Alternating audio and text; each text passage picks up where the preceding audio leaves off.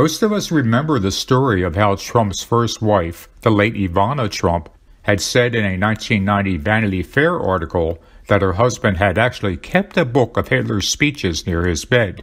The book was My New Order, which detailed Hitler's speeches from his earliest days up until about September of 1939.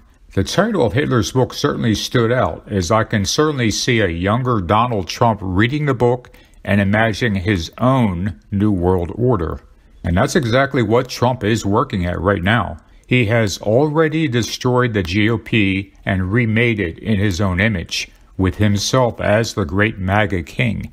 Next on his list is to also remake America in his own image, with those loyal to him in all facets of government.